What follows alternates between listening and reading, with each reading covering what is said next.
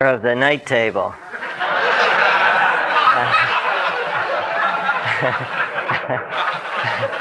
because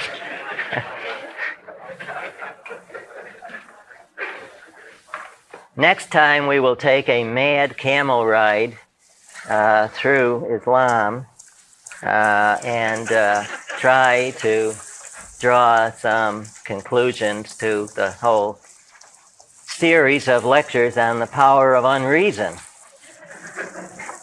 Now, a, great deal of this is historical because I am trying to explain these things in historical sequence uh, to uh, find uh, their true meaning. The only direct sources we have for the origin of the Hebrews are the mythical accounts in the biblical book of Genesis. These accounts center around the lives of the so called patriarchs Abraham, Isaac, and Jacob. On the whole, the narratives present a true picture of life in the Fertile Crescent during the years 2000 BC to 1500 BC, when the Semites, or rather when Semitic speakers of the north central group of Semitic languages enter the stage of history. According to biblical tradition, the original home base of the Hebrews was around a city called Harran, H A R R A N, now in southeastern Turkey.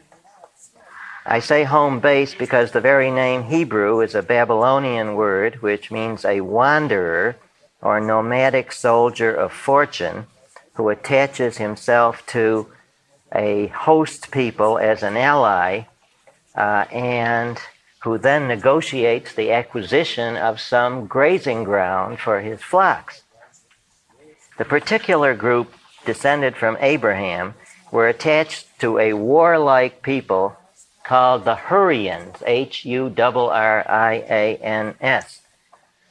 We know this because the Hebrews adopted certain Hurrian customs, such as the custom of selling one's birthright, or in the case of a woman, stealing one's father's gods in order to make sure that one's father's uh, uh, possessions come um, ultimately into the possession of one's husband. The Hebrews in the beginning spoke Aramaic, uh, a uh, Semitic dialogue. Hebrew was the language they acquired from the Canaanites, the previous inhabitants of Palestine or Canaan. After arriving in Canaan, they encamped in tents, mostly near the Canaanite cities. They herded sheep, goats, and cattle, and practiced seasonal agriculture. The Hebrews revered as their ancestor a man called Abraham. They were descended from him and his wife Sarah through their son Isaac, who was, I think we're getting into mythology now, conceived when Abraham was 100 and Sarah was 90. you can always tell when the mythology starts. Uh, Abraham had previously begotten another son, Ishmael, I S H M A E L, by Sarah's maid Hagar, H A G A R, from whom the Arabs are descended, according to both the Jews and the Arabs. That's one thing they're agreed on. Abraham worshipped a god called El, strong one, the plural of which Elohim is used for God in certain component documents of the Bible. The religion of Abraham was roughly the following. He and his, first, he and his descendants are the objects of the God's loving care. In return, the God asks for obedience, whose ordinary expression is prayer and animal sacrifices at outdoor altars, at stone pillars and sacred trees. God promises land and many descendants. Then there is personal call by the God, uh, promise of coming uh, good fortune. Absent is the note of jealousy on the part of the god, or any note of tension with other gods or people regarded as outsiders. It is important to note that the Canaanites also called their chief god El. From El, of course, comes Allah. Abraham made his first land purchase in Canaan at a place called Hebron, H E B R O N, which is today venerated by both Jews and Muslims as his tomb. Now, there's no external confirmation for Abraham, but the logic of the myth and its general picture of conditions places him about 1750 BC as a contemporary of Hammurabi, the king of Babylon. The biblical tradition continues that all the descendants of these people went down into Egypt, where eventually they were enslaved, and then led out in a sensational rescue mission led by a man named Moses, acting under the direction of a God with a new name, Yahweh. Y A H W E H, Yahweh. So God now takes on a new name. Formerly El, sometimes in the plural Elohim. God is now Yahweh. Uh, who claimed to be identical with the original God El. That's what he said to Moses when he appeared to him in the burning bush. I am the God of Abraham, of Isaac, and of Jacob. Moses is also have said to deliver to have delivered to the people a law authored by Yahweh. None of this has any support in contemporary Egyptian documents, not even the alleged drowning of the Egyptian pharaoh as the sea closed back on his army after having parted to let the Hebrews through. Of course, the crucial question is what really happened at the time, but it is very difficult to reconstruct this. The key to the reconstruction is to be found, I think, in the idea that far out in the desert, Moses forcefully initiated his followers into a new religion, new and yet old. For he forced them to return to a more primitive, more patriarchal form of Semitic tribalism than they had known for many generations. He forced them to turn away from their, under, under, from their understandable desire to assimilate to the urban civilization of Egypt and to its customs. Now, no one denies now that the name Moses is an Egyptian name. Moses was more assimilated than the other uh, Israelites. He turned back violently from his course of assimilation. Uh, when he realized that the path of assimilation was leading to slavery for many of the Jews. When he saw a labor, labor boss beating an Israelite, Moses killed him and escaped out into the desert, where he was welcomed by another more primitive Semitic tribe, uh, the Kenites of Midian. sometimes called Midianites. And from this tribe, he got uh, his wife. These people were smiths, the Kenites.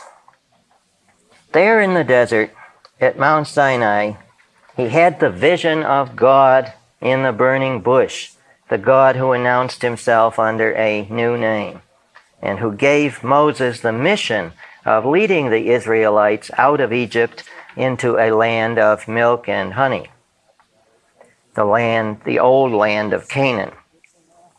But before he is to bring them into Canaan, he is to bring them to, quote, this hill. Bring them to, quote, this hill, unquote. Thus, Moses had gotten his vocation in the desert as the primitive shamans did, as John the Baptist would, as Jesus did as the monks of the desert will in time. Moses was to lead the Israelites out of Egypt and bring them to this hill. He did just that. he initiated a whole people at once at Mount Sinai.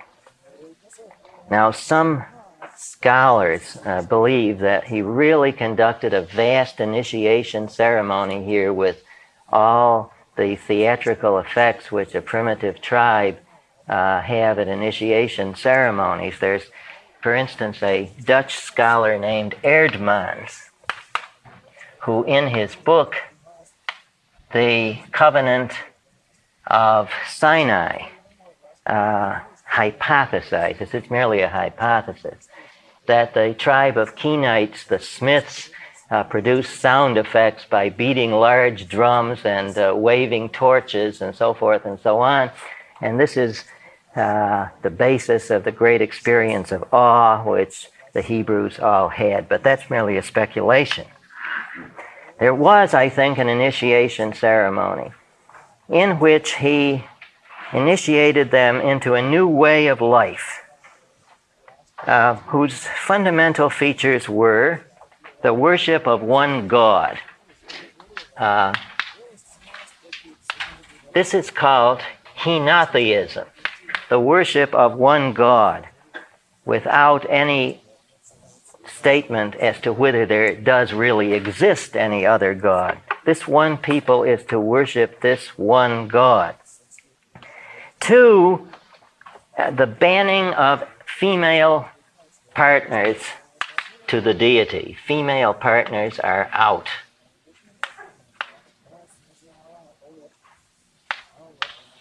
This God goes it alone. Three is the banning of all magic and sorcery whatsoever. Remember that in the lecture on primitive religion, I identified magic and sorcery as one form that religion can take. Moses is committing uh, the Hebrew people totally to the personal form.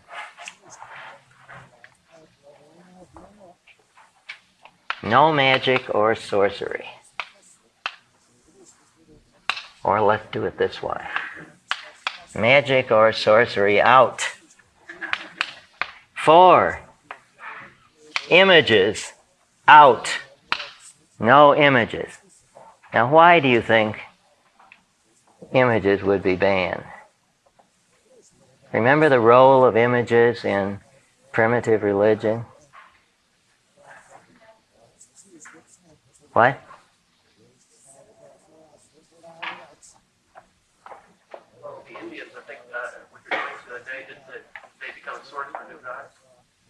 No, that's not what I'm thinking of. There's may, there may be some truth in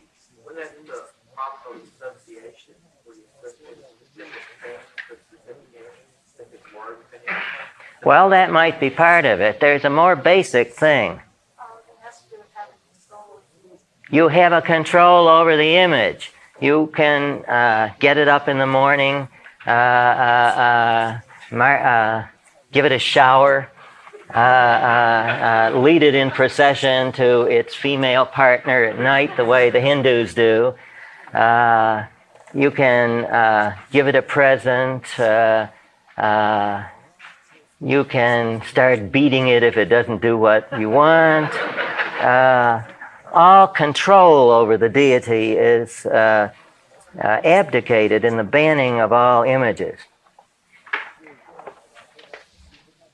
The five, all Israelites are initiated, not just some, as in adolescent uh, puberty initiations, or as in mystery religions. Uh, six, tribal equality and you might call it democracy, I'm going to put that in quotes, rather than the highly structured hierarchical society of the Egyptians. Uh, no emphasis on life after death.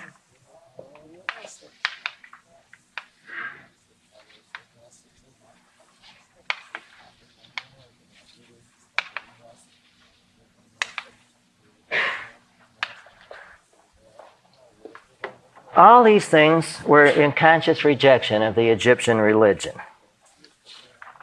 The Egyptian, Egyptian religion, you had polytheism. You had the cult of Osiris and his sister wife, Isis. You had magic, sorcery, and amulets. You had sculptured and painted images of deities. You had initiation mysteries in which individuals were initiated in those ceremonies.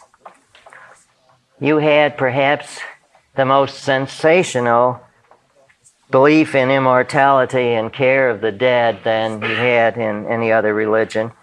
And you had a highly stratified class society.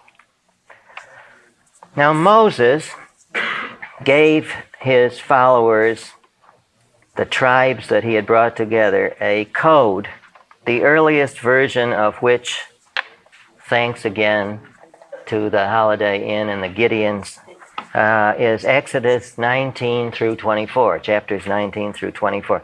This was promulgated about 1250 BC. It follows the form of a Near Eastern treaty setting forth at the beginning the historical background, the purpose and nature of the undertaking, the benefits, the promises, the curses. It's a treaty between God and a people. God is to be a totalitarian ruler whose mere wish is to govern every aspect of the people's lives. The heart of the code are the Ten Commandments or Decalogue, which are to be found in Exodus 20, 1 through 17. All crimes are sins and all sins are crimes. That is a crucial feature. All breaches of the law offend God. Restitution to other people whom you may have hurt is not enough. God requires expiation, and this may involve drastic punishment. In other codes, a husband may forgive an adulterous wife and her lover. The Mosaic Code orders both of them to be put to death no matter what the husband may think. The Mosaic Code was far stricter in matters of sex than other Near Eastern codes. All irregular forms of sex were banned. Incest was regarded as particularly horrible and was defined so as to include marriage with cousins. To quote a few provisions, quote, whoever sacrifices to any god except Yahweh shall be solemnly destroyed. Unquote. Quote, a witch shall not be permitted to live. Unquote. Quote, very important one now. If you lend money to any poor man, you shall not exact interest from him. If you lend money to any poor man, you shall not exact interest. What is being prohibited here? Usury, yes.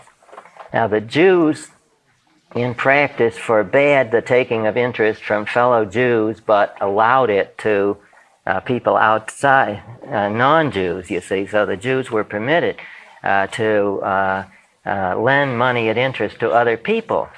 But when Christianity and Islam uh, universalized this code, you see, they forbade taking of interest, period. They took the basic Jewish idea and they universalized what was a tribal prohibition. Quote, if you take a fellow countryman's garment as a pledge, you must give it back to him by sundown, for that is the only rug he has. What else does he have to sleep in? Quote, You shall give the firstborn among your sons. Unquote. You shall give me the firstborn among your sons. About this, the, the biblical commentaries say only that the commandment must have envisaged the redemption of the firstborn by substitute sacrifices, as in the case of Abraham. This was a big thing in the, in the Near East, uh, uh, the sacrifice of uh, firstborn children. The Phoenicians used to throw them into fiery furnaces, uh, which were sculptured like the god Moloch. And uh, the great, uh, the great drama of the beginning of the uh, children of Israel is what happens when uh, God demands that Abraham sacrifice Isaac, his son, and then says, in effect, I didn't mean it. Here's an animal that you can substitute for him. And ever since that time, uh, it, it, has been a particularly horrible crime in Judaism to mistreat children, and always the opposite attitude has been maintained that we treat our children well. Many of the provisions of the law are more humane than other codes. Actually, the statement an eye for an eye and a tooth for a tooth is a mitigation of the primitive idea of two for one. Uh, so Moses you see, this is sometimes misunderstood, but Moses was trying to, uh, I think, to uh, humanize the thing. There's a great stress on the sanctity of human life, as you can see in the provision for capital punishment to be imposed for the violation of life. Offenses against property are generally played down. This is an expression of the tribal nomad's sense of communal possession and economic equality. But capital punishment is to be imposed for insults against God, rejection of his authority, the worshiping of any other God, the making of an image even of Yahweh himself, the sacred bull image. The basic notes are absolute authoritarianism so far as God's authority is concerned. But no earthly ruler. God alone is king of Israel, and all others are equal before him. There's a political egalitarianism and an economic egalitarianism. There's rough tribal justice tempered by mercy toward the weak. Tribal responsibility and collective guilt for I, Yahweh, your God, am a jealous God, visiting the guilt of the fathers upon the children to the third and the fourth generation, but showing kindness to the thousandth generation of those that love me and obey my orders. Now, upon such few simple commandments, others were piled. Hundreds of dietary and Sabbath regulations amounting finally to 613, uh, which the pious Jew is supposed to observe. Whatever the historical value of stories like the ten plagues, the crossing of the Red Sea, and the revelation on Mount Sinai, the account left a lasting psychological impression on the whole Hebrew people, similar in function to a myth. The story of the Exodus became the symbol of Jewish history, religion, and nationhood. And the Ten Commandments, whose revelation at Sinai is the high point of the whole narrative, became the foundation of what we call the Judeo Christian ethic, as well as of much of Islamic tradition. The accompanying material, that is what went along with it, what was piled on top of it, has had much effect on these three religions but much more on Judaism. From this uh, legal material, we can make the following generalizations. One, the rules are formulated as expressions of God's will only. I am the Lord thy God who hath brought thee out of the land of Egypt, out of the house of bondage. Thou shalt have no strange gods before me. Thou shalt not make unto thyself a graven image, the likeness of anything that is in the heavens above, or in the earth below, or in the waters that are under the earth. Two, they're promulgated to the people at large. Three, the people at large are held responsible for their observance. Get him in here and make him do it if he says no. For obedience is somehow conceived as a quid pro quo.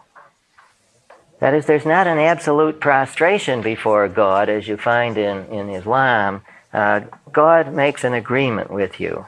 The quo, in this case, was liberation from Egypt, liberation from slavery.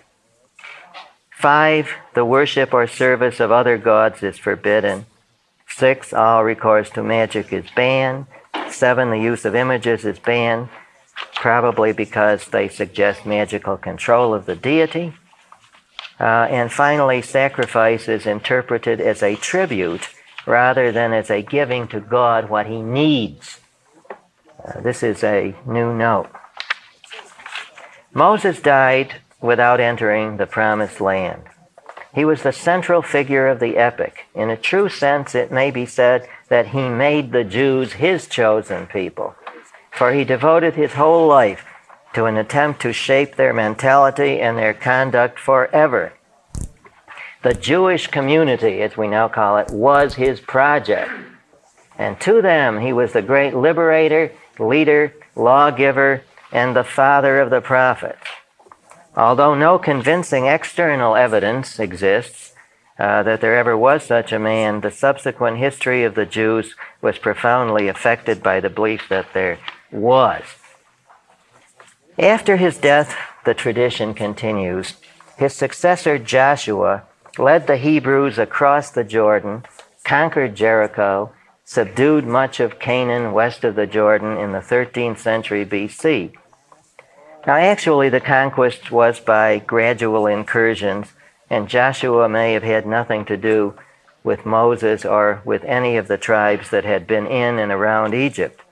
What seems to have happened is that one group of tribes in the south, saying they had been led out of Egypt by Moses, persuaded the northern group of tribes to accept the whole Mosaic tradition and covenant as their own.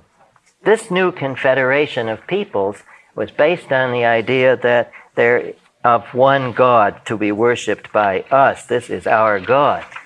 This one God was regarded as the sole king of the whole confederation and his authority was exercised by charismatic military and political leaders called judges. The era of the judges was characterized by a continuing war to conquer the rest of Canaan and to abolish the Canaanite fertility cults to which the Hebrews were perpetually succumbing. The whole people now came to be called Israel after the alternate name of Jacob from which the tribes, the northern and southern tribes, were both descended. Israel, however, continued to be surrounded by hostile peoples. The confederation was too loose for safety, and what might be called a more perfect union was called for. This involved having a king, quote, like other people, having a king. Such a choice was a radical departure from the tradition of tribal life with the God Yahweh as the only king. From now on, there was a tremendous sense of tension between those who wanted to settle down and live as the Canaanites and those who wished to perpetuate the severe tribal traditions, which meant, among other things, a more collectivistic and egalitarian economics and a puritanical sexual ethic. But finally, the judges gave in to the idea of kingship, and the last great judge, Samuel, anointed Saul as king. Later, another Saul is to try to undo the whole process, as, as we will see.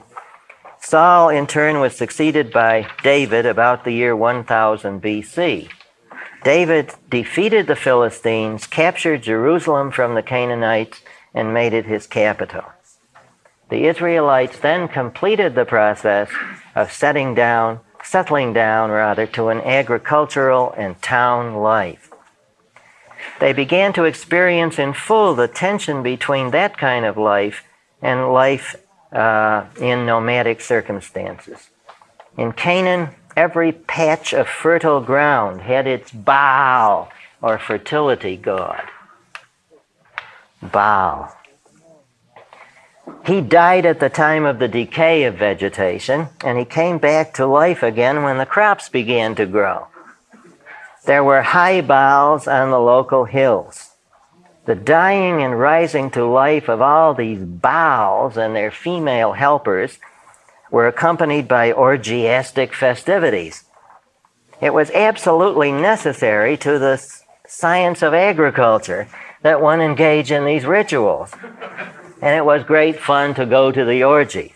And so the Israelites were swept up in all this, adding the worship of fertility gods and goddesses to the worship of, of uh, uh, Yahweh.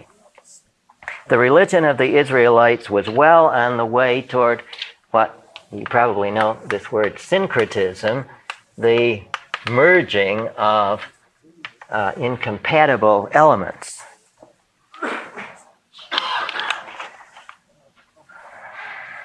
David, meanwhile, made peace with the Phoenicians, built an army, organized the kingdom, and moved the ark to Jerusalem. The ark he deposited in a tent.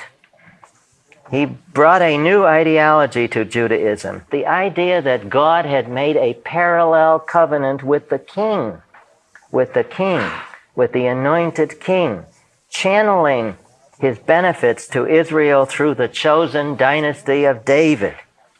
Henceforth, the great leaders of Israel would be kings, sons of David.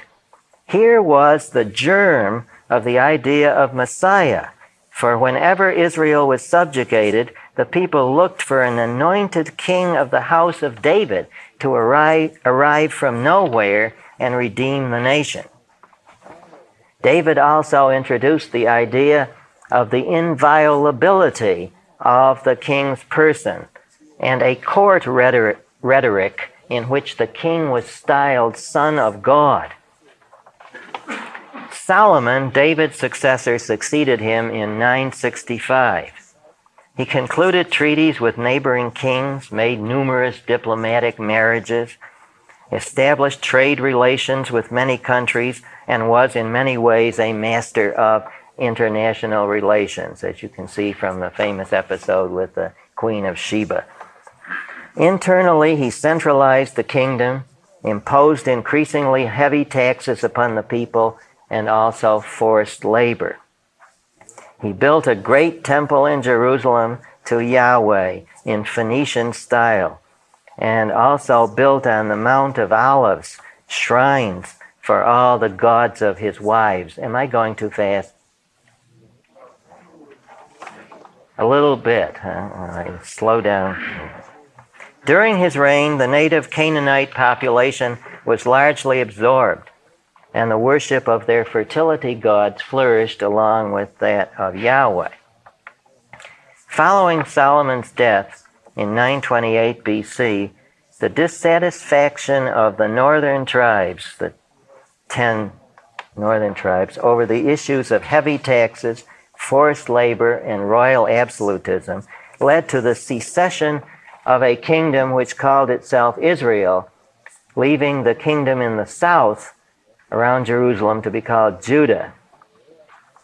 The kings of the north severed all religious ties with Jerusalem. They set up two northern sanctuaries to Yahweh, they, uh, and they put up the old totem image of the golden uh, young bull or the golden calf as the totem of Yahweh.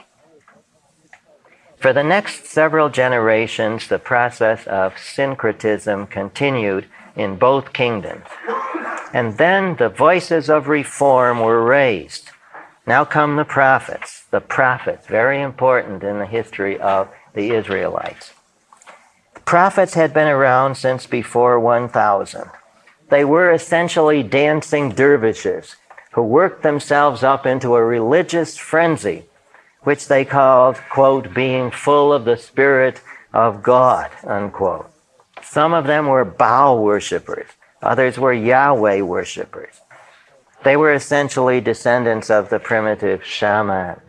They gave out oracles, they praised and denounced, they made predictions about both private and public affairs.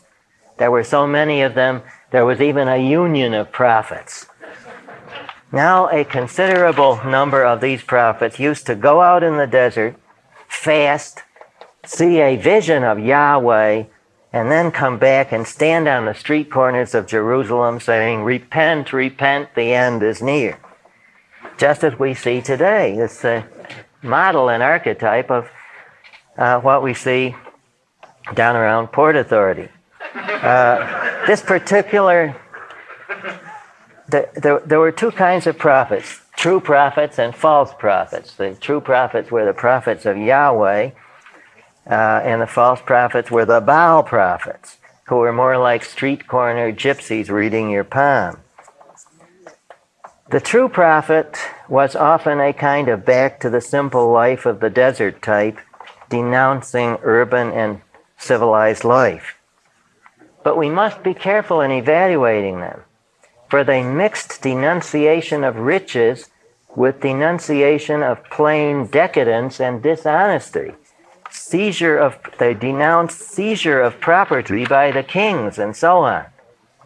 So we have a kind of package deal situation here. People were asked to choose between earthly pleasures and success, plus breaking contracts and robbery, plus the fertility gods, versus the life of the poor shepherd, plus honest and decent living, plus the worship of Yahweh. To quote now the prophet Amos Woe, woe to the city dwellers!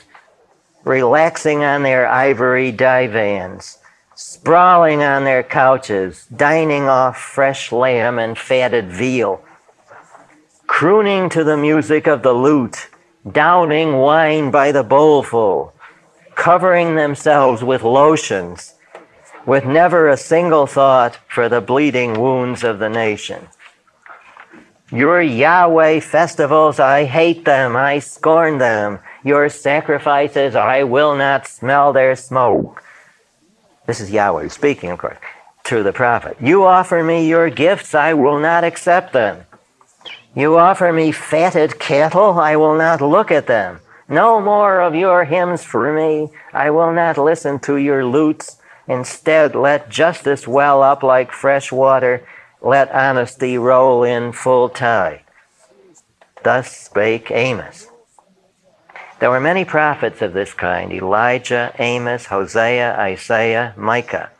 They brought a strong movement back to pure Yahwism for a time.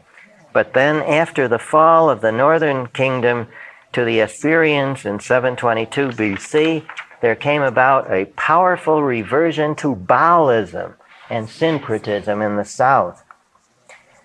The Yahwehite prophets were suppressed by King Manasseh.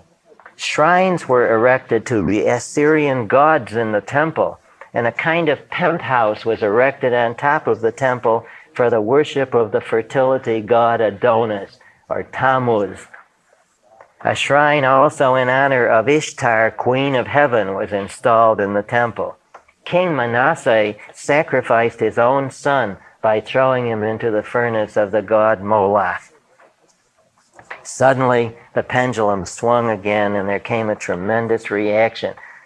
With the accession to the throne of Josiah, Manasseh's grandson, he ordered the repair of the temple. And during the repair work that was going on, the high priest Hilkiah, H I L K I A H, claimed that he had found in a corner of the temple. The book of the law, this book, he told the king, is the original book of the law of Moses. The king consulted a prophetess who assured him that the book was genuine. The high priest then gave the king a second copy from which he told him he could rule the realm. We call this second copy Deuteronomy, the second law book. The king read the law book. He cleared out all the idols and the sacred prostitutes from the temple. Uh, he took off the penthouse. He tore down the sacred pillars and poles. He, raid, he ranged through the whole kingdom, demolishing the sacred places of the Baals. He then centralized all worship in Jerusalem, bringing in all the local priests uh, into the temple and thus the income from the sacrifices was brought in too and centralized.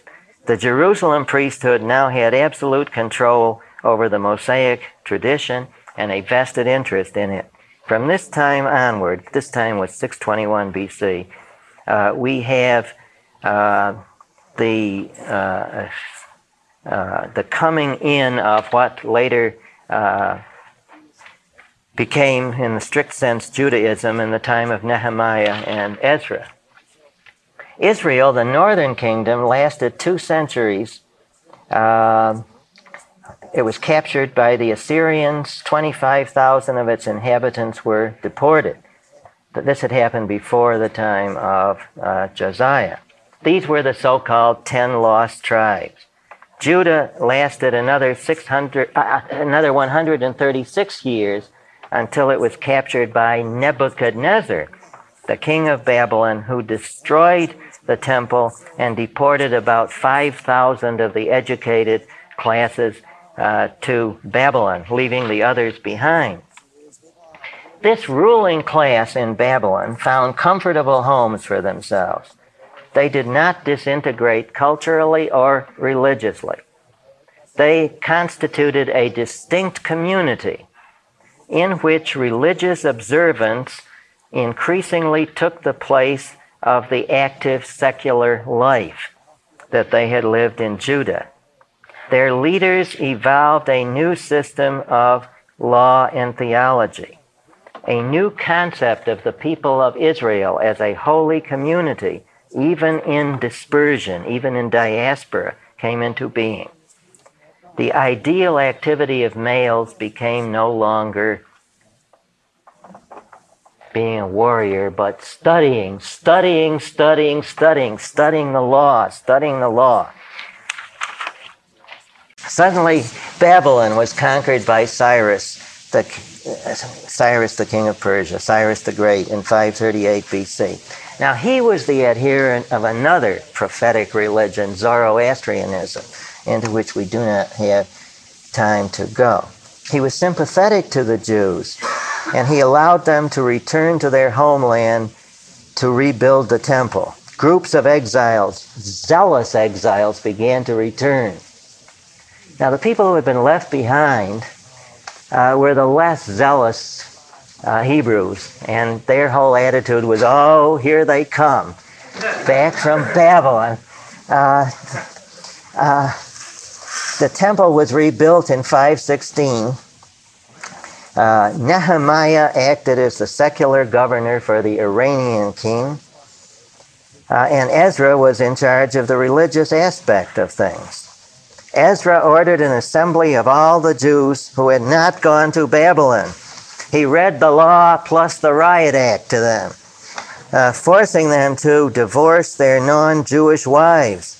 He instituted a fanatical religious regime forcing on the people all the strict interpretations of the law that the scribes had arrived at in Babylon. As you can guess, and as the Bible says, there was weeping and gnashing of teeth. As the commentator uh, W.K. Lowther Clarke says, quote, no more striking example is to be found in history of the power of a determined minority to influence the course of events than the fact that Judaism, as we now call Hebrew polity, was conceived in Babylonia and imposed on Judea. Unquote. During the rest of the fourth century, a large part of the Hebrew Bible was written or edited. This work of writing the Bible had probably started way back in David's time, around 1000. Then the Persian Empire was overthrown by Alexander the Great in 333, and the Hellenization of the Near East began. I want to quote again Clarke's biblical commentary. Quote, colonies of Greeks were planted all over the vast area, but at least they must have formed, at best, they must have formed a small minority of the population. The conquest was effective because it was a spiritual one, and the new civilization was accepted as definitely higher than anything previously known. For the first time, Asiatics were introduced to city state life, political life. Knowledge of Greek opened the door to drama, philosophy, and science, to athletics, to the cult of the body. A fuller, richer, more secular life could now be lived. Even among the Jews, many succumbed to the new influence.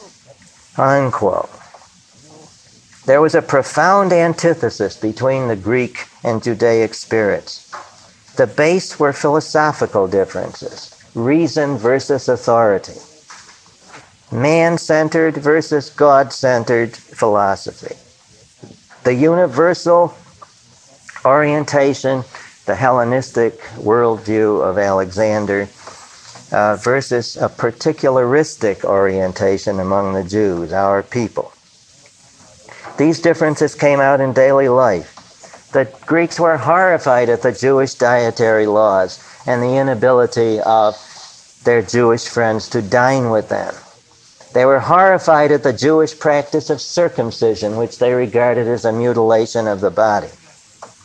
Many Jews, perhaps the majority, definitely wished to adopt Hellenistic civilization, to attend the schools and gymnasia.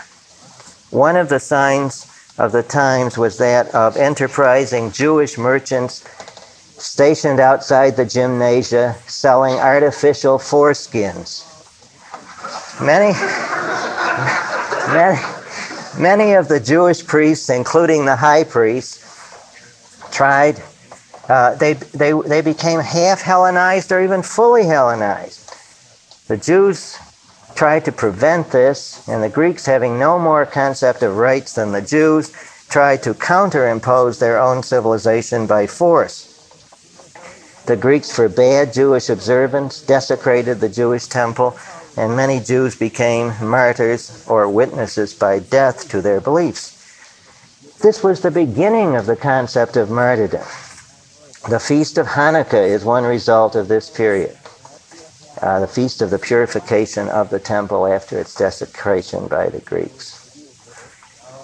At last, the Jews had risen up in force under the Maccabees to win their independence, which they kept for 130 years, from 164 BC to 63 BC, when they were conquered by the Romans. Under Roman uh, rule, Jewish institutions such as the temple, the priesthood, and the ecclesiastical council received a large measure of autonomy. But pious Jews wanted a society uh, in which the law was strictly enforced. They wanted the complete rule or kingdom of God. Other Jews, less pious, were glad to practice Judaism with moderation and to give thanks to Yahweh for Hellenistic culture uh, and the Roman rule of law. These groups hated each other Generally, Jews of that time divided into four parties as follows in the order of decreasing acceptance of Hellenistic culture under Roman law. First, the Sadducees, a conservative party, an urban party formed about 200 BC of priests leading families and wealthy merchants. They were in charge of the temple and the sacrificial cult, which they held in high regard. They accepted only the written law, not the oral tradition from Babylon. They accepted the five books of Moses. They rejected the oral law which had been built up in Babylon. They did not believe in life after death of any kind. They rejected the existence of angels, beliefs that the Jews had apparently picked up in Babylon. They were hated by the common people for their external, minimal religion and for their obvious partnership with the Romans. Then the Pharisees, who came in about 140 BC, the most popular party. When I say parties here, I'm referring to divisions or sects, not celebrations. The, the, the Pharisees were the most popular parties. They strictly observed both the written and oral laws, trying to adapt them by ingenious interpretations to change conditions. Their attitude was obsessively legalistic, but they tried to split hairs in such a way as to make life on earth possible. They introduced the institution of the synagogue, which could be set up anywhere in which there were no sacrifices, but simple readings, prayers, uh, and sermons. Under them, the study of the law became a duty of every Jew. The authority on the law or rabbi was a Pharisee institution. They believed in the resurrection of the dead, the literal physical resurrection of the dead, and the last judgment. Beliefs which they may have gotten from the Zoroastrians, who also had precisely these beliefs. Then there were the Zealots, founded about 6 AD, who advocated violence and terrorism to overthrow the Roman occupation. They looked for a military Messiah to lead them. Then there were there was the Dead Sea sect, or Essenes, E S E N E S, which had their origin about 140 uh, NBC, and their center in the desert northwest of the Dead Sea. Although some of them lived in the towns and villages throughout the land. They emphasized ritual purity to an extreme degree. They engaged in continual ritual immersions of a baptismal nature. They advocated communal property and celibacy. It seems likely that John the Baptist had something to do with these people, the Essenes. It was during this period that Christianity arose as a fifth sect among the Jews. Within a generation, it had partly split off from Judaism. But before the split was complete, the Jewish world was once again shattered. Increasing tensions in Judea, caused partly by Roman tyranny and partly by growing messianic fervor among the Jews, led to confrontation. The Romans decisively crushed a Jewish revolt in 66 AD. In 70 AD, they captured Jerusalem, destroyed it amid a scene of unbelievable slaughter, and burned and razed the temple. Only one wall was left standing. You heard about this wall? The, the Wailing Wall, yes. It has remained the holiest place uh, for Jews to this day, and of course, something else has been built on the on the scene. Uh, the mo- mosque, the second holiest mosque in Islam. So again, there's total confrontation. The role of religion in history. The Zealots held out and holed themselves up in the fortress of Masada, where in 73 AD they committed suicide in order to avoid being killed or captured by the Romans. Meanwhile, the Romans took the sacred paraphernalia of the temple to Rome, carried it in triumphal procession, an event commemorated in the Arch of Titus in Rome, which may still be seen today. A final revolt occurred in 132 AD under a man named Simeon Bar Kokhba, who proclaimed himself the Messiah and fought the Romans for three years.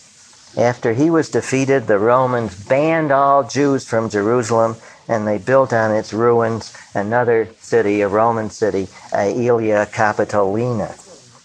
In spite of these colossal defeats, the, Rome, the Jews reformed their lines in exile and became a worldwide religion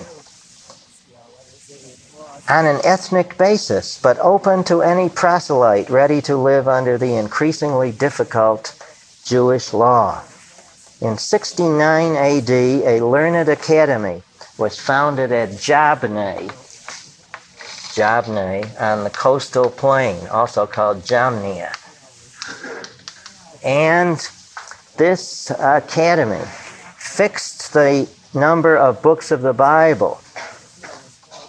And uh, this is the beginning of what one might call normative Judaism, when you have a written down rule uh, which, uh, in which there is general agreement by the whole community and everybody is expected to live by. The body of authoritative commentary called the Talmud was completed in Babylon by 500 AD. Since that time, Judaism has had a rich history, but its essential philosophical and religious position has remained the same. I've carried up Judaism to the birth of Christianity just as I'm going to try to carry Christianity up to the birth of Islam. Now, the essentials of the Judaic position from a philosophical overview. Like Hinduism, it is the religion of a people. But it is not the product of a slow growth of customs and institutions like Hinduism. Instead, like Buddhism, it, cont- it contains a coherent message, something proclaimed as a new way of life. The message proclaimed is, Hear, O Israel, there is but one God. Now, monotheism, denying the existence of other gods. This message is addressed to one people, the chosen ones.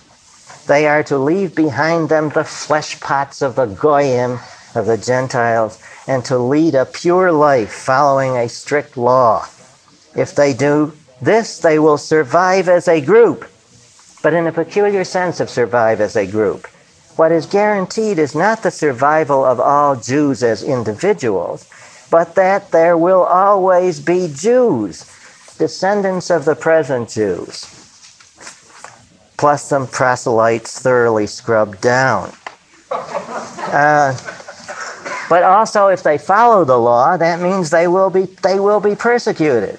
So, if they don't follow the law, the foreign people will attack them. If they do follow the law, they'll be persecuted for it, as every proselyte has has learned. Therefore, every Jew is damned if he does and damned if he doesn't. And if persecution ceases, that means that Jews must be assimilating and Jewish identity is being lost. The essential thing seems to be the survival of tra- certain traditions and practices. Now we go to Christianity. The question of the origin of Christianity is a matter of intense controversy. The storm center of the controversy is the central figure of the religion, Jesus. Did he even exist, and if so, can we say anything definite about him? If he never existed, how can we explain the origin of Christianity? And even if he did exist, how would that explain the origin of Christianity? Immense resources of scholarship have been brought to bear pro and con on these questions. The overwhelming majority of scholars hold that Jesus did exist and that we can know at least a few things about him. A tiny, unconvinced minority hold that he never existed and that therefore there's nothing to know about him, except that he is the central character of a myth. Some of the reasons for this difference of opinion lies in the philosophical positions of the scholars who study the documents, but others seem to be ideologically motivated. Obviously, you would expect those who were Christians to argue for the existence of Jesus, and those who were non Christians to be glad to consign the whole subject to the sphere of mythology. But this is not entirely true. The vast majority of non Christian scholars hold that Jesus really existed, and a very few professedly Christian scholars have expressed doubt or disbelief about his existence holding the quasi-Kantian position that what matters about Jesus is not that he, whether he existed or not, but the question of his value, not the fact. All this should lead us to suspect that there are genuine problems in framing the right questions, in gathering and selecting the data, and in assessing the evidence. And this, I think, is the case. All historians, especially ancient historians, know how difficult it is to decide between hypotheses as to exactly what must have happened to explain the existence of such and such historical data. My present opinion, present underline, is that in the case of Jesus, we simply do not know for certain anything about his biography, not even that he existed. Nevertheless, we have to explain the origin of Christianity. And in so doing, we have to choose between two alternatives. One alternative is to say that it originated in a myth which was later dressed up as history. The other is to say that it existed with one historical individual who was later mythologized into a supernatural being. The theory that Jesus was originally a myth is called the Christ myth theory. And the theory that he was a historical individual is called the historical Jesus theory. My present uh, position is that the Christ myth theory is less probable. For the Christ myth theory presupposes that before the appearance of the story of Jesus in the Gospels, the mystery religions of the Hellenistic world were already of such a nature that they could be regarded as the originals of and Christianity as the borrowed. I do not think that this is so. I do not deny that Christianity is a mystery religion, but I hold that it's a largely original mystery religion. Uh, I think it more probable that Christianity started within the milieu of relatively orthodox Messianic Judaism and later developed into a mystery religion whose theology was more convincing than the rest precisely because it had a historical base and always took this base for granted. At any rate, the Gospels say that the public career of Jesus began with his encounter with John the Baptist, a figure whose existence is historically authenticated by the historian Josephus. John, according to the Gospels, was another prophet in the long desert tradition. He came dressed in camel's hair and subsisting on a diet of locusts and wild honey, baptizing people in the Jordan, saying, Repent, the kingdom of God is near. It does you no good to be Jews. You've defiled yourself as much as Gentiles. So, in order to be saved from the wrath to come, you must be given a purificatory bath here in the Jordan, just like the proselytes, and you must live a completely different life. What shall we do? The people asked John. John answered, Let everyone who possesses two shirts share with him who has none, and let him who has food do likewise. Unquote. So we have the notes of the kingdom of God essentially an egalitarian, nomadic tribe ruled by an invisible God. Bringing in of this rule not by Joshua and his legions, but by a supernatural apocalyptic force, a sort of religious science fiction.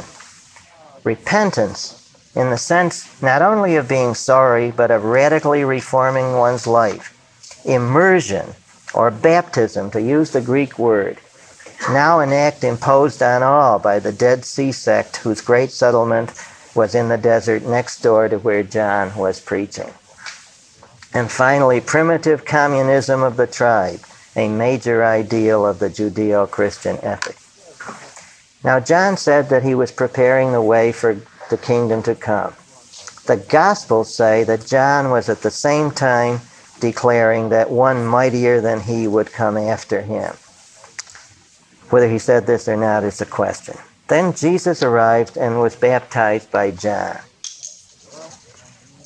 After his baptism, Jesus went out into the wilderness where he endured temptations again, out into the wilderness to endure the temptations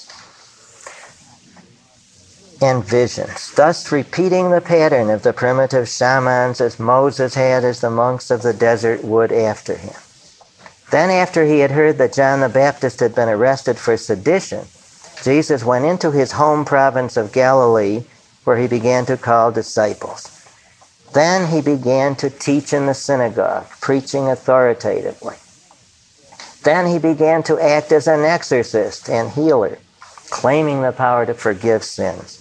He ate with non observant Jews and tax collectors, explaining he had come to call sinners.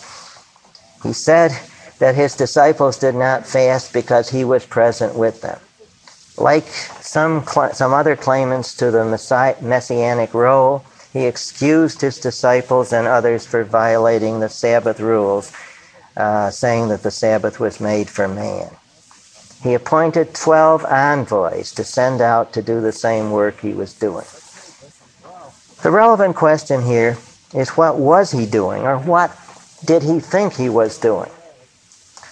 There's no question that he thought he was a divine agent, that is, the unique agent of Yahweh sent to bring in the kingdom of God. He would do half the job, God would do his half.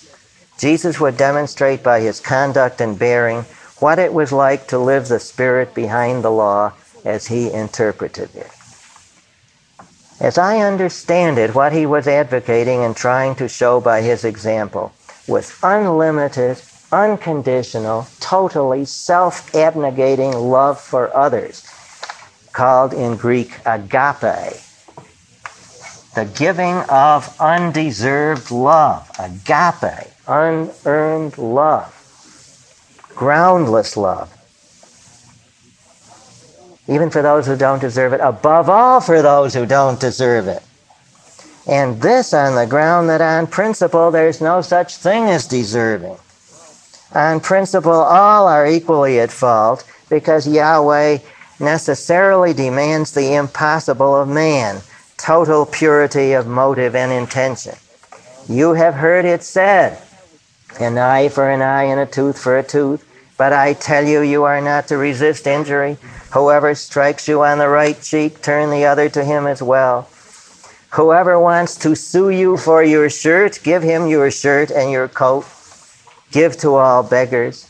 You have heard it said, Do not commit adultery. But I tell you, whoever looks on a woman with lust has already committed adultery with her in his heart.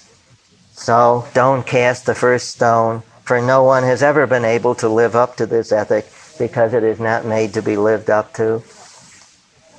In the kingdom, the, the kingdom of God is already invading our world, and it is time to begin acting like this. I will show you how it can be done. Now, every Messiah is supposed to be successful. Such an ethic cannot be successful. It leads to extinction, not to survival. But suppose that God were to step in and restructure reality so that values of this kind lead not only to survival but to triumph. That would indeed be the kingdom of God. Worthiness to live would be united with efficacy. All Jesus would have to do would be to live his values to the bitter end. There was an old Jewish principle that said that the Messiah would come the day that the whole law was observed throughout Israel.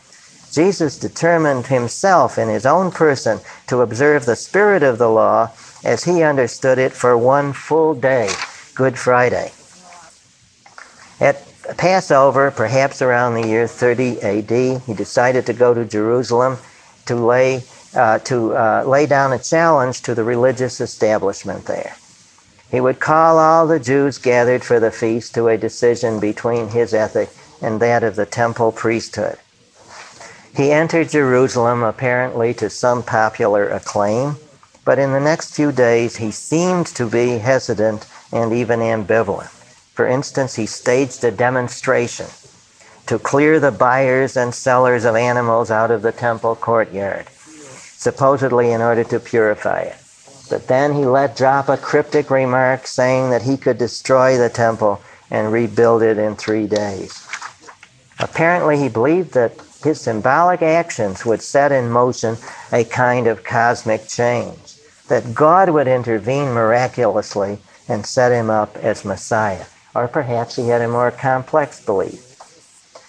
This was not to be the case. God did not intervene. If one shoots a lion, one must shoot to kill. The lion, that is the priesthood, had him apprehended swiftly in the night and turned him over to the Roman authorities on charge of claiming to be the king of Israel. And so he was executed by the Roman method of crucifixion. Uh, his disciples were left despondent. But shortly thereafter, his tomb was reported empty, and word got around that he had risen from the dead and was appearing to his disciples. The disciples were also searching the scriptures and finding texts that seemed to prophesy that the Messiah would die before coming in glory. A few weeks later, an assembly of disciples gathered to celebrate the Jewish holiday of Shavuot, which marked the wheat harvest and the Sinai covenant. They broke out suddenly into ecstatic speaking with tongues, and they went into the streets to proclaim the good news of the suffering and resurrected Messiah who was soon to return and set up his kingdom. They made a sizable number of converts and soon began to form a community a large number of whose members were poor.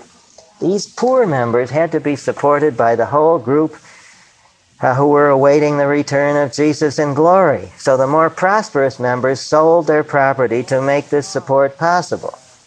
The whole group were very observant Jews and so were at first tolerated. But soon a group of Hellenistic Jews grew up around the community, a group whose outspoken leader, Stephen, taught that the coming of Jesus abrogated the temple and the law. The Jewish ecclesiastical authorities had Stephen stoned to death for this blasphemy, not for being a Christian. for the blasphemy. And an approving witness to the execution was a man named Saul. Saul was one of the most important men in the history of the world, for it was he who later transplanted Christianity from its Jewish base to the Gentile world, transformed it from a Jewish sect into a new and powerful world religion, and by these actions he destroyed the Greek world. He started out as a zealous Orthodox Jew. He was against the Jesus party because no matter how orthodox they were in practice, they were a threat to the survival of Judaism. Now, why were they a threat to the survival of Judaism? Because of the situation they faced in spreading their movement. Gentiles were being committed to belief in Jesus. Now, the practice of the Jesus party in Jerusalem was to accept such converts only if they first converted to Judaism, were circumcised, and observed the law. Only then were they baptized in the name of Jesus. But now a problem arose. The Hellenistic synagogues had an institution known as the God-fearers, or fringe of the synagogue. These were Gentiles who, although attracted to Judaism, did not want to be circumcised and to obey the dietary laws. They were allowed to become honorary Jews and attend the synagogue provided they observed a simplified form of the law. They were allies and friends, but not for intermarrying and not for dining together. Now, many such honorary Jews were attracted to the Jesus preaching for obvious reasons. He was represented as one who preached the Spirit, not the letter of the law. He wasn't a stickler for points. He had been uh, persecuted by the establishment, both Gentile and Jewish. He was a friend of outcasts. These people wanted to join the new movement. They began to speak with tongues too. And the leaders of the Jesus sect had to do something about all these guys speaking with tongues. They agreed to baptize finally all Gentiles who would live by the law of the God-fearers. But there was a problem.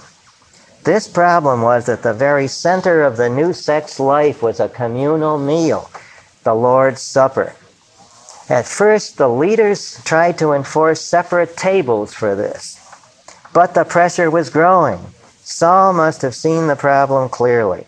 A Christianity centered in Judaism was impossible, for the law would be breached, the Gentile members would soon overwhelm the Jewish. So one or the other must go. So the Jesus sect must go. So he participated vigorously in the persecution of this sect. But subconsciously, he must have realized that he had leaped too quickly from the premise that one or the other must go to the conclusion that the Jesus sect must go. Great tension built up in his mind. And one day he had a vision of the risen Jesus saying, Saul, why are you persecuting me? It's hard for you to kick against the pricks, isn't it? Unquote. Implying, of course, you see that the persecution was a defense mechanism. Saul was immediately baptized, but he did not associate with the leaders in Jerusalem, the leaders of the Jesus sect. He remained isolated. He went out into the Arabian desert uh, and meditated. Then he returned to preach his distinctive theology, which in effect uh, transformed the Jesus sect into Christianity as we know it. By the time of the early Christians, the Hellenistic world which surrounded them was not exactly characterized by undiluted happiness. The individual felt that a burden pressed upon him. In his deepest soul, he felt he was in the hands of alien powers.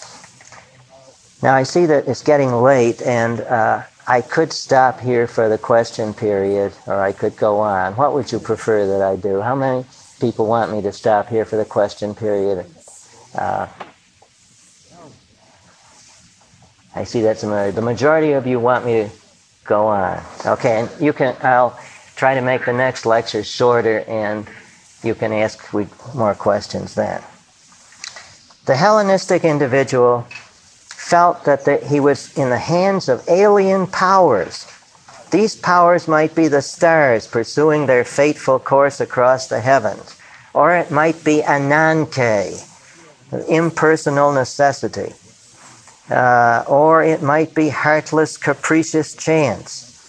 None of these could be influenced by the prayers of a poor mortal. Man was alone and afraid in a world he never made, as A.E. Housman said. His soul lay in the prison of the body and could not free itself.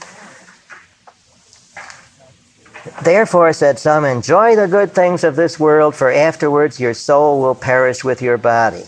This answer was to be found in inscriptions. It's still found in inscriptions on gravestones all around the Mediterranean.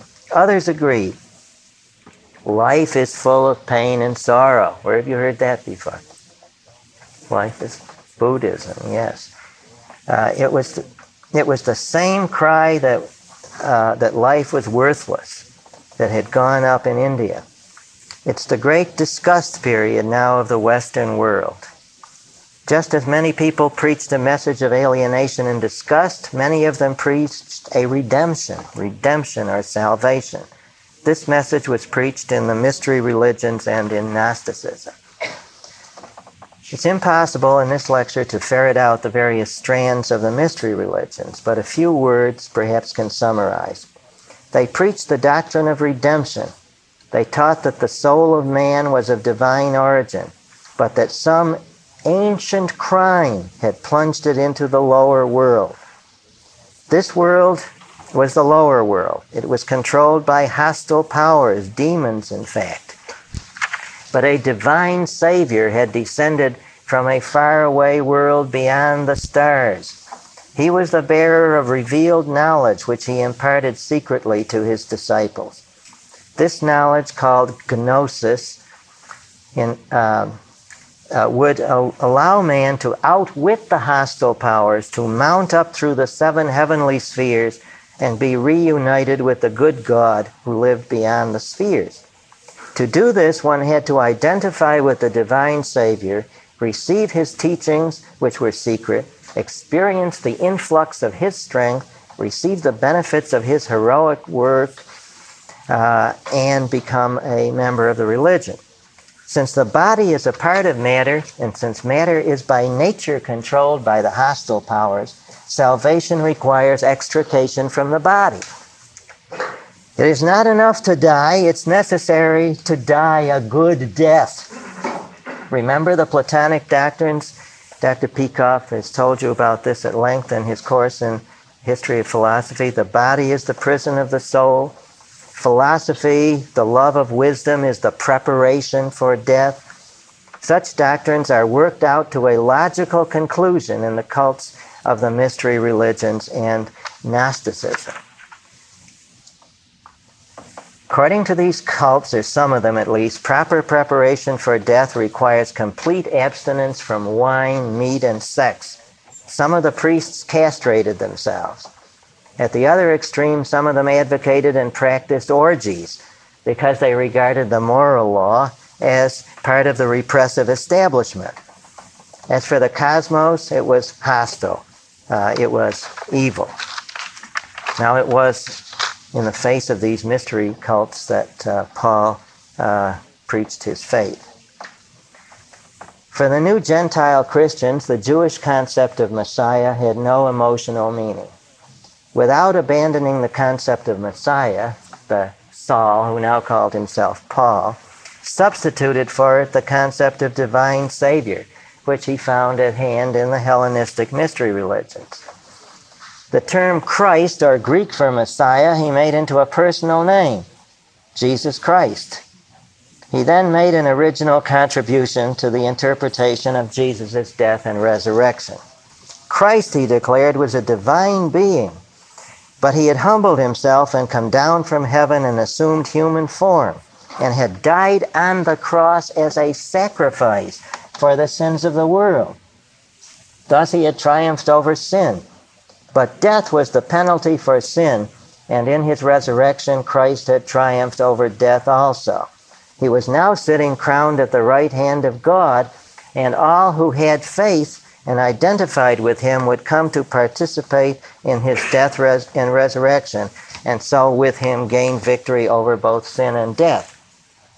Now, by this rethinking, Paul captured the sympathy of the Gentiles for they had been brought up under the influence of the Greek mystery religions. To drive his point home, Paul gave a new theological interpretation to the practices of baptism and the Lord's Supper, practices universal among Christians. By the mystical experience of baptism, he thought, he taught, those who believe may identify themselves with Christ in his death and resurrection. Going down into the water in baptism is an act of identification with his death, while emerging from the water is an act of identification with his resurrection. By this death in Christ, sin and death are wiped away, and the newly baptized Christian lives a new life. This is obviously a revival of the primitive initiation ceremony, again, you see. Remember how the initiate is made to undergo a ritual death by cutting off some part of his body.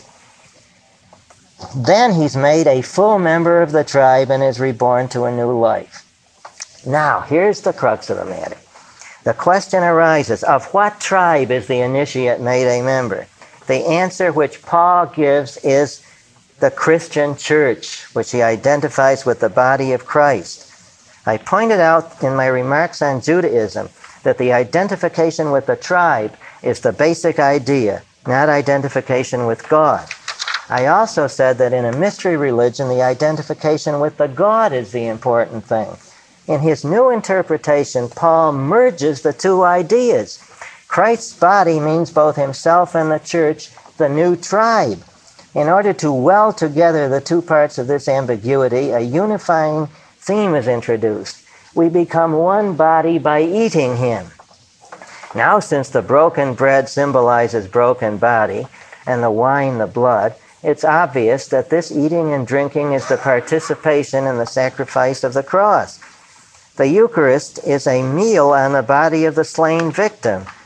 The Christian appropriates the strength of the victim and becomes one body with him.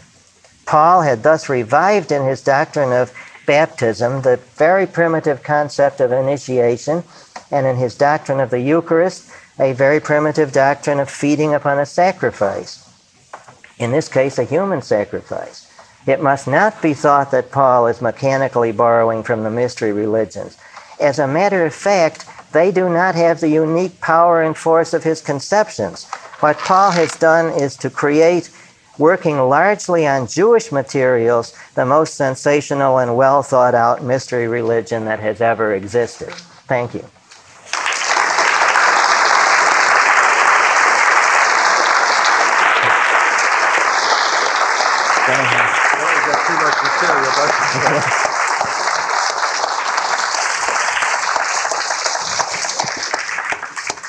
Uh, It's my uh,